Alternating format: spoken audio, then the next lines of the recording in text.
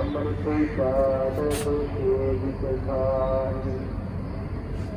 माया मोह पुल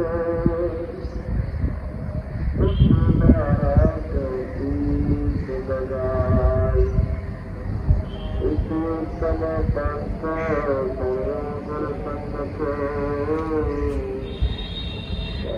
मिलत जन प्राप्त पाई ਸਵੇਰੇ ਸਵੇਰੇ ਗੁਰਦੁਆਰਾ ਸਾਹਿਬ ਤੋਂ ਪਹਾੜ ਦੀ ਆਵਾਜ਼ ਸੁਣ ਕੇ ਮਨ ਨੂੰ ਬਹੁਤ ਹੀ ਰਿਲੈਕਸ ਮਿਲਦਾ ਹੈ hello friends welcome to my new video तो कल हम शाम को हिमाचल से मोहाली घर वापस पहुंच गए थे और आज नेक्स्ट डे मॉर्निंग से व्लॉग हो रहा है स्टार्ट तो चलिए स्टार्ट करते हैं अपनी वीडियो मॉर्निंग की शुरुआत हो रही है आज सुबह क्लीनिंग से, क्योंकि दिवाली भी आ गई है, हफ़्ता ही रह गया है दिवाली में, और तो दिवाली की साफ़ सफ़ाई स्टार्ट की जाए। मॉर्निंग का हमारा ब्रेकफास्ट हो गया है और घर के जितने भी किचन क्लीन था और हाउस कोर थे डेली के, वो मैंने कंप्लीट कर लिए हैं, और अब मैं लग गई हूँ, जो ऊपर वाला हमारा कमरा है, उसकी क्लीनिंग करने के लिए। तो आज मैं इस ऊपर वाले रूम की अच्छी तरह से क्लीनिंग करूँगी। डेली मैं एक एक कमरे की अच्छी तरह से डीप क्लीनिंग करूँगी। तो तब तक दिवाली तक, अभी हफ़्ता पड़ा है, तब तक मेरे सारे घर की अच्छी तरह से साफ़ सफ़ाई हो जाएगी। तो चलिए स्टार्ट करते हैं सबसे पहले ऊपर वाले रूम की क्लीनिंग से। तो ये एक एक्स्ट्रा गद्दा पड़ा हुआ था तो मैं इसको निकाल के सबसे पहले धूप में रख दूँगी। ये गद्दे भी बड़े कंफर्टेबल होते हैं, बिल्कुल हल्के लाइट वेट में होते हैं और इनको साइड में खड़ा कर दो और जब कोई गेस्ट वगैरह आए तो ये बिछाने के काम भी आ जाते हैं और ज़्यादा स्पेस भी और इनको उठाने में भी ज़्यादा दिक्कत नहीं आती। और अब ये मैं विंडो को अच्छी तरह से क्लीन करूँगी।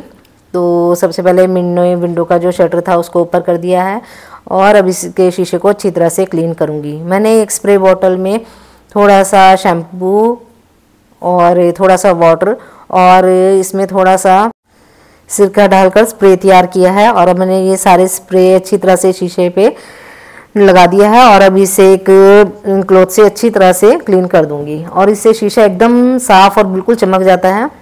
और अभी साफ़ करने के बाद देखिए कितनी अच्छी इसमें फिनिशिंग आएगी। ऐसा लगेगा ही नहीं कि जैसे शीशा बीच में लगा हुआ है, इतना क्लीन हो जाता है। और शीशा साफ़ करने के बाद अब मैं ये वॉलपेपर था, इसकी भी डस्टिंग कर रही थी क्योंकि ये पेपर होता है और इसके ऊपर भी धूल काफ़ी जम जाती है। तो हल्के हाथ से मैं इस पर हल्का हल्का सा स्क्रब कर रही थी और फिर इसकी जितनी भी धूल मिट्टी है वो बिल्कुल साफ़ हो गई थी और एकदम वॉलपेपर ने जैसा फिर चमक गया था। और दिवाली के टाइम पर घर की सारी अच्छी तरह से सफ़ाई हो जाती है, इसी बहाने घर पूरा चमक जाता है। वैसे तो हम डेली सफ़ाई करते ही हैं, वीकली और मंथली भी, पर जो दिवाली के टाइम पर एक सफ़ाई होती है और अंदर से बड़ा शौक आता है कि हम घर की पूरी अच्छी तरह से क्लीनिंग करें और घर को एकदम नई जैसा चमका दें तो वो फीलिंग ही अलग होती है। तो घर एकदम साफ़ सुथरा, ऑर्गेनाइज और वेल सेटल्ड लगता है। इसी बहाने शौक भी होता है कि दिवाली आ रही है तो हम अपने घर की सारी अच्छी तरह से साफ़ सफ़ाई करें और और मज़ा भी आता है खूब दिवाली की सफ़ाई करने में।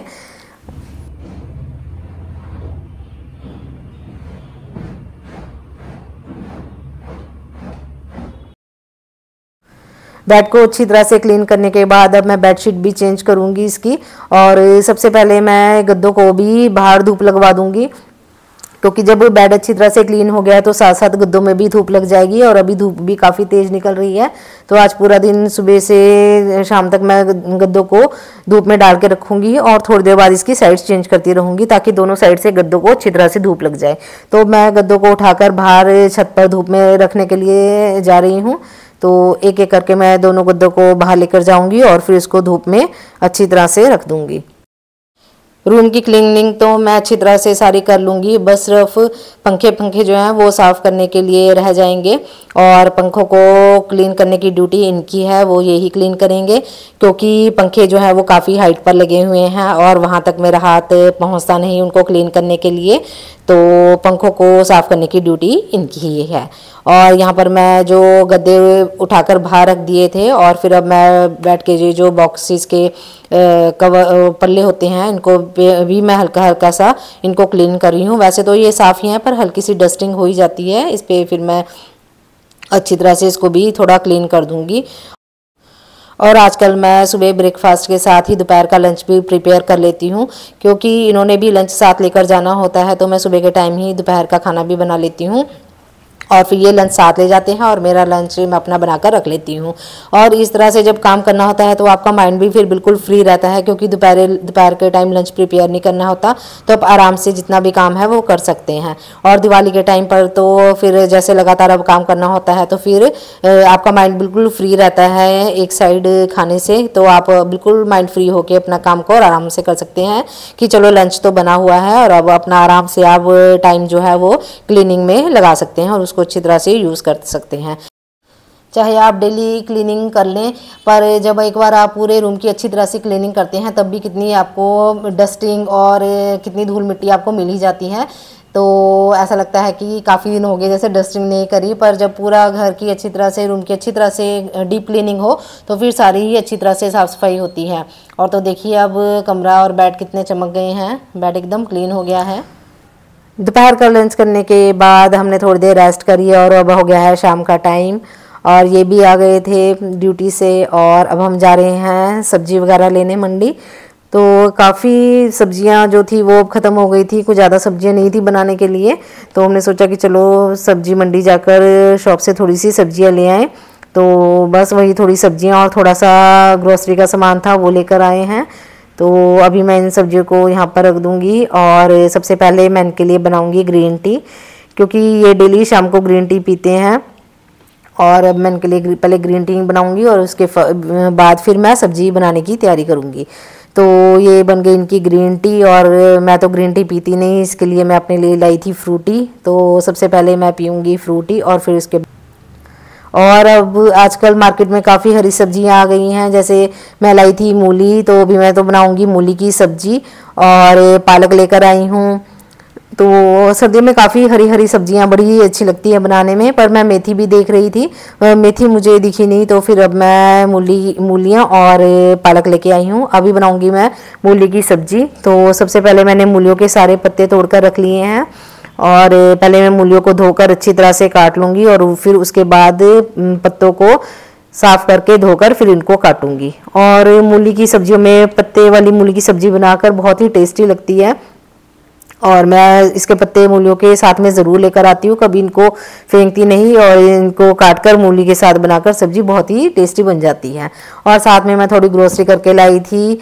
ये मैं लाई हूँ मकीन्स और दूध के पैकेट हैं, ब्रेड, बंद, क्योंकि शाम की चाय के लिए थोड़ा सामान ख़त्म हो रखा था तो वो मैं साथ में वो भी ले आई, रस वगैरह भी। और अब शाम की चाय के साथ स्नैक्स बनाने होते हैं कुछ तो फिर अगर घर में सामान पड़ा हो तो फटाफट फिर बन जाते हैं। तो अब मैं काट रही हूँ मूली धोकर और मूली की सब्ज़ी बनेगी। सब्ज़ी बनाने के बाद मैं पहले सब्ज़ी रख देती हूँ और फिर जितनी देर में सब्ज़ी बनेगी और तो मैं जो अब सब्ज़ियाँ लेकर आई थी उनको धोकर अच्छी तरह से थोड़ी सूखने के लिए रख दूँगी ताकि उसका पानी अच्छी तरह से नुचड़ जाए और फिर उसके बाद उसको रात में सूखने दूँगी और फिर कल सुबह उठकर उनको फ्रिज में अच्छी तरह से ऑर्गेनाइज और स्टोर करके रख दूँगी। जब भी हम बाहर से सब्ज़ियाँ लेकर आते हैं तो उसको अच्छी तरह से वॉश करके धोकर रखना चाहिए और फिर ताकि जो भी उन पर धूल मिट्टी या फिर जो भी उस पर लगा हो वो अच्छी तरह से साफ़ हो जाता है और फिर जब आप यूज़ करें तो उसको बार, एक बार फिर अच्छी तरह से वॉश करके यूज़ करें। और आजकल टाइम का पता ही नहीं चलता, क्योंकि अब दिनों में भी थोड़ा टाइमिंग में फ़र्क पड़ गया है, अब जल्दी अंधेरा हो जाता है। और बस अभी देखिए मार्केट से सब्ज़ी लेकर आए और मैंने सब्ज़ी अभी काटी है और बाहर अंधेरा भी हो गया। तो चलिए अब जल्दी से बना लेते हैं सब्ज़ी और शाम का टाइम तो फिर पता ही नहीं चलता कि कब एकदम से निकल जाता है। तो चलिए ये था हमारा आज का ब्लॉग तो ये थी मेरी आज की वीडियो जो मैंने आपके साथ अपनी रूटीन शेयर करी और आपकी आपको मेरी वीडियो कैसी लगी प्लीज़ कमेंट करके ज़रूर बताना। और जिन्होंने मेरे चैनल को अभी तक सब्सक्राइब नहीं किया है तो प्लीज़ अभी जाकर पहले मेरे चैनल को सब्सक्राइब कीजिए कमेंट कीजिए शेयर कीजिए, ताकि मुझे मोटिवेशन मिले और मैं आपके लिए और अच्छी अच्छी नई नई वीडियोज़ बनाकर लाऊँ। तो मिलते हैं आपसे फिर नेक्स्ट ब्लॉग में, तब तक के लिए गुड बाय और प्लीज़ मुझे ऐसे ही सपोर्ट करते रहिए।